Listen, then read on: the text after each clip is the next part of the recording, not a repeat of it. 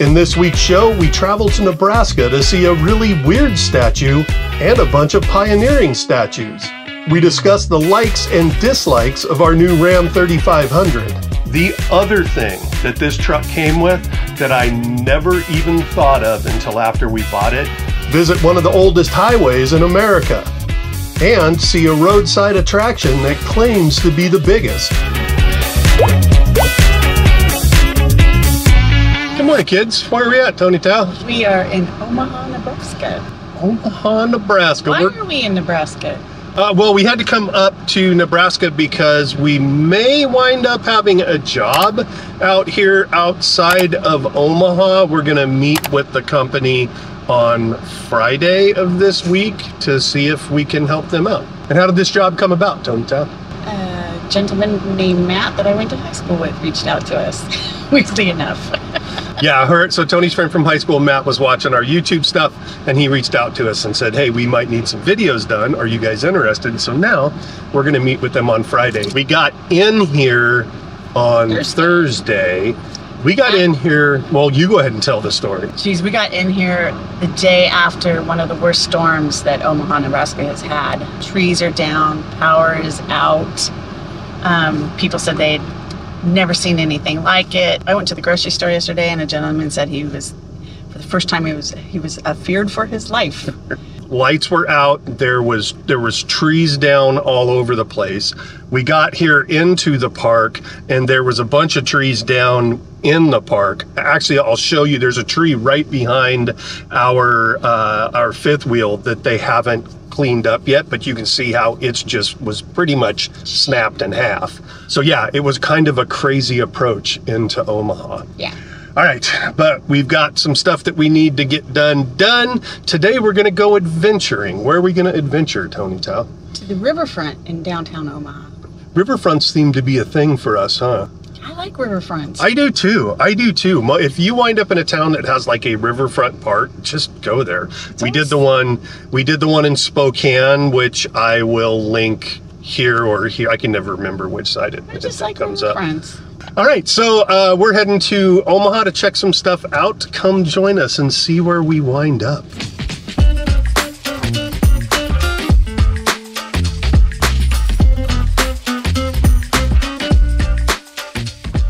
On our way to the riverfront, we got a bit turned around and wound up on the Council Bluffs side where we found Looking Up. It's a 35 foot tall statue made from crushed aluminum foil, roasting pans, and baking tins. The original sculpture was displayed here for a year before being sold to a collector, but the city ordered up this replacement. Once we got our bearings and had Omaha back in our sights, we headed back over the Missouri River.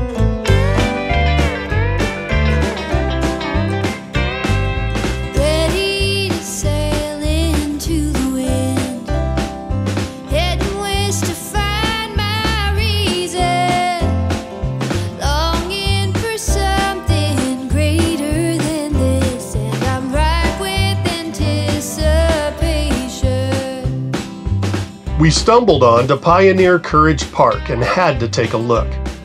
It features a sculpture series that pays homage to the more than 600,000 people that crossed Nebraska over a 20 year period in the mid 1800s.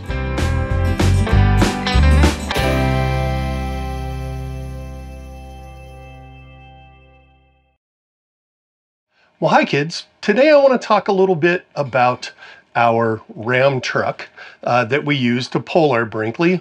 Welcome to the inside of the Brinkley. I was planning to shoot this outside um, next to the truck, but of course, as soon as you plan that, it becomes leaf blower day uh, here in the RV park. Tony Tao's over here doing some dishes. Smile, Tony Tao. Lean in. There you go. She's over here doing some dishes, so you'll see hear some of that noise too.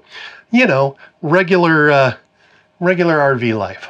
First, when we bought the Brinkley, we did have to upgrade our truck. Prior to this truck, we had a three quarter ton Chevy. We had all kinds of issues with the Chevy, specifically with the trailer brakes. I'll link that up here so that you can check that out if you're interested.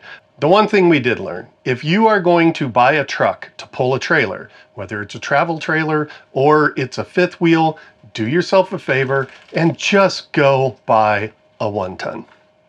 We didn't do that. So in the course of a year, we went from a half ton to a three quarter ton to a one ton. And it was a costly mistake. When we did upgrade to our one ton, we went from the Chevy, we moved back to Rams. We'd had multiple Rams in the past, really, really loved them, didn't have any problems with them. So, and after having the problems we had with the Chevy, uh, we decided we were going to move back to a Ram. So what are the specs on our truck?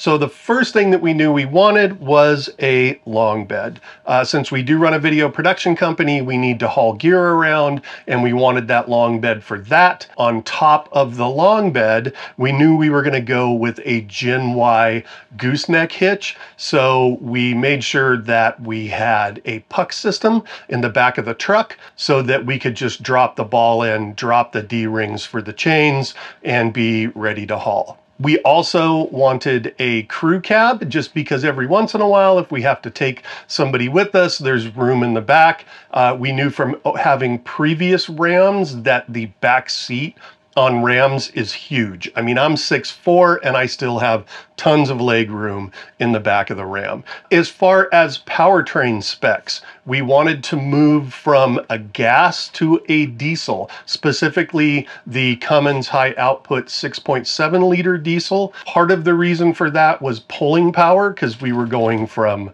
a, a 7,000 pound trailer to a 15,000 pound trailer. So I wanted that extra pulling power. But more important than that, I wanted the exhaust brake. We do a lot of traveling in the West, so we're up on mountain roads, and I wanted that exhaust brake for getting us down those mountain roads. We also wanted the Aisin transmission on it, basically because of reading a lot of stuff about how reliable that transmission was. The last thing that we wanted was we wanted a single rear wheel. We didn't want a dually.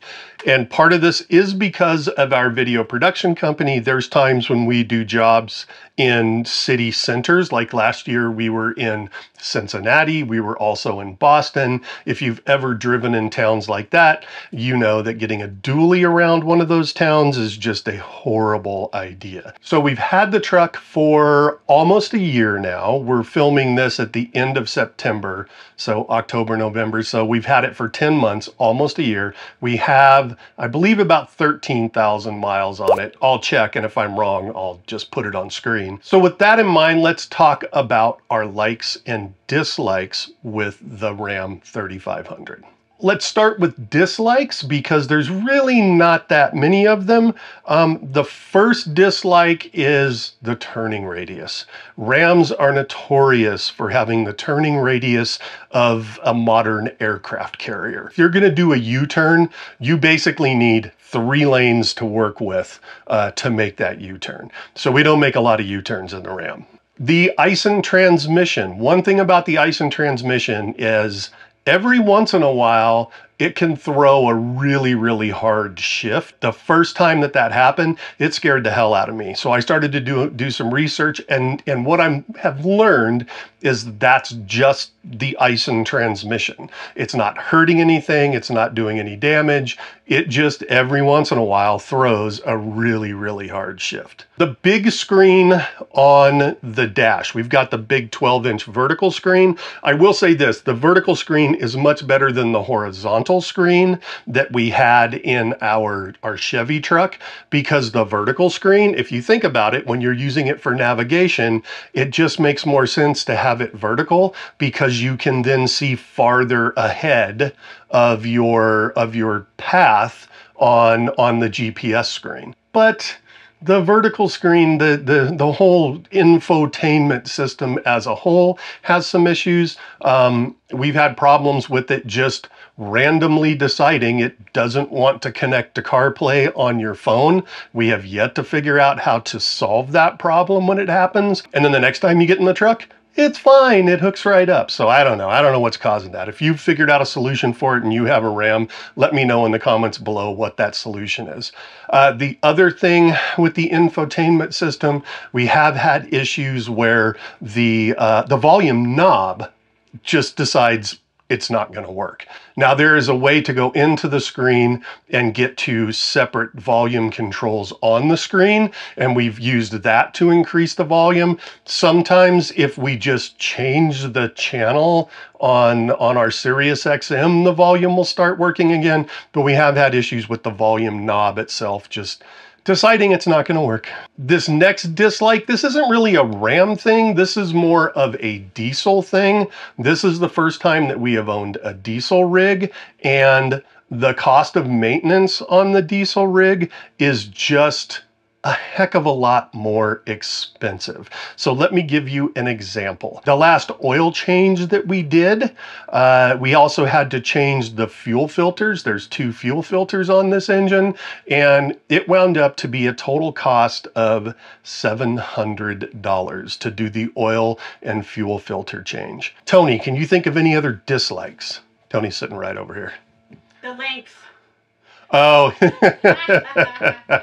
yeah, with the long bed, it is a long truck. So you're going to wind up parking out in the back of parking lots, kind of like you would do with a dually, um, because a lot of times parking spaces aren't long enough, so you're going to wind up taking up two. I mean, you can be a jerk and take up two towards the front of the parking lot.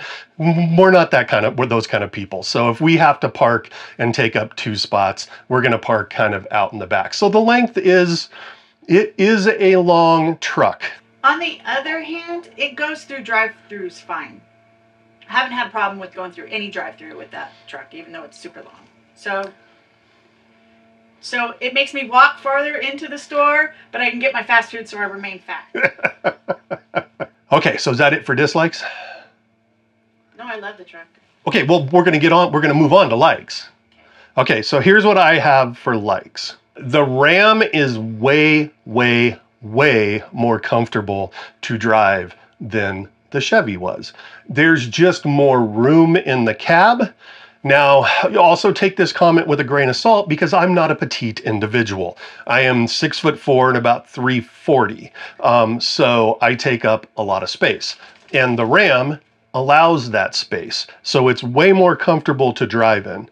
Um, it has much better forward visibility than our Chevy did. The Chevy had this great big square hood and trying to see over the front corners of the hood was was difficult at best. The Ram, just the way the hood is designed, it kind of slopes down on the edges so you can see better um, off the edges of that hood. The other thing that I didn't even realize Ram had until we bought the Chevy was with the Ram at night, if you start to make a turn, there is a light that will come on to the uh, to the front side of where you're turning.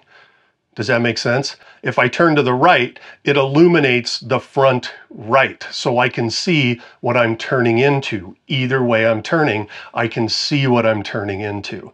That I didn't even realize until after we bought the Chevy, and I absolutely missed that when we had the Chevy. I now have it back. The diesel engine. The diesel engine is a huge like for me, even though it costs more, um, because because of the pulling power and, as I mentioned before, because of the exhaust brake. The Ram exhaust brake is bloody brilliant.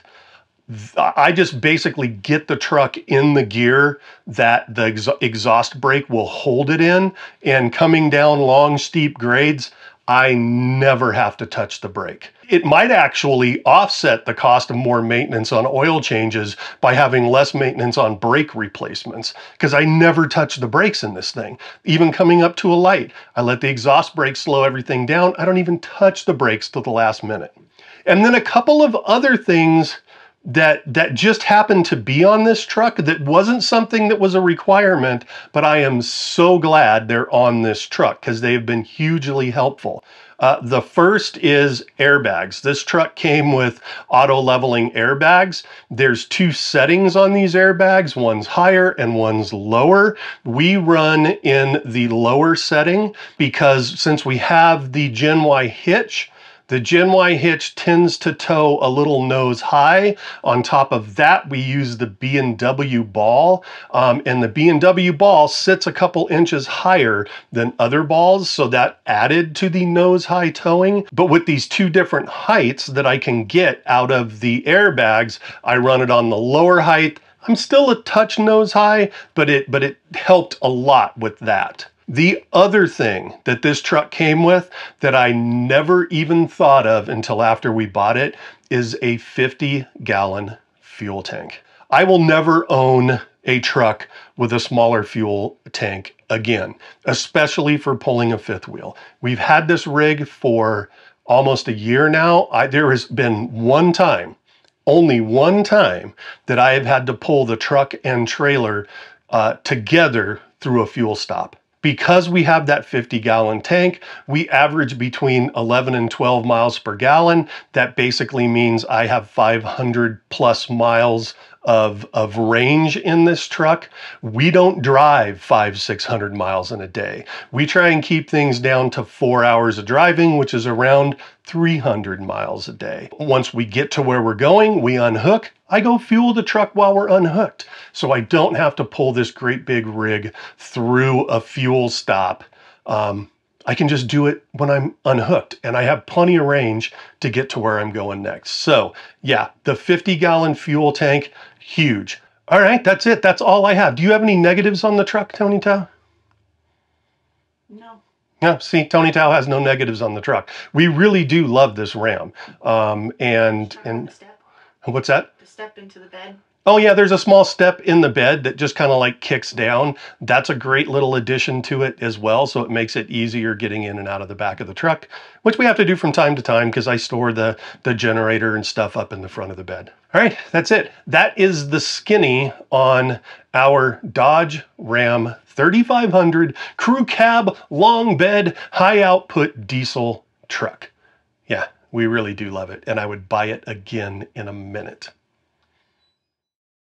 Good morning, kids. Uh, it is Wednesday here in here in Omaha, Nebraska. Uh, we have a couple days left here. Today is kind of might be our only day to really do a lot of adventuring because we had another meeting pop up.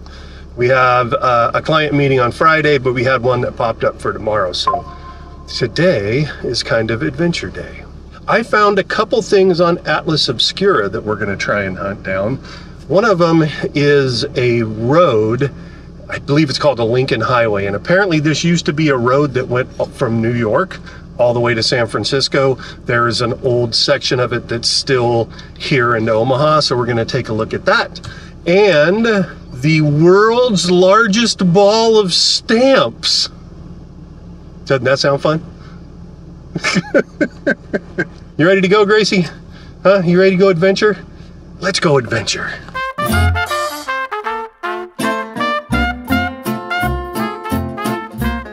So behind me is the old Lincoln Highway. This was originally built in 1913. It went all the way from Times Square in New York to Lincoln Park in San Francisco. At one point, it spanned 3,300 miles across the nation. And this is a small section of it that is still, uh, still usable here in Omaha. It's all brick. It's three miles of brick highway. It's kind of cool. We're gonna go ahead and roll down the rest of it and see what we see.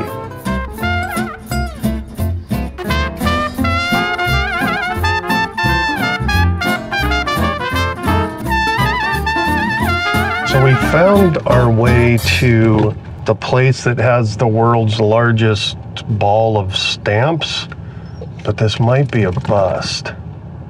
Because it's at some place called Boys Town. I have no idea what Boys Town is. We're gonna look. It's in the Leon Myers Stamp Center, which is part of the Boys Town Visitors Center. Well, you can go in. I'll stay here with the dog. All right, I'm gonna try and sneak in with the camera and get a picture or two of the world's largest ball of stamps. Deep inside the caverns of the visitor center, bathed in the glowing illumination of LED lights, lies the world's largest ball of stamps. The gigantic ball measures in at 32 inches in diameter, weighs 600 pounds, and is estimated to have over 4 million canceled stamps. The ball started back in 1953 when a group known as the Boys Town Stamp Collecting Club started to consolidate the stamps using a golf ball as a base. The real question, though, is how much of that ball is spit from licking all those stamps?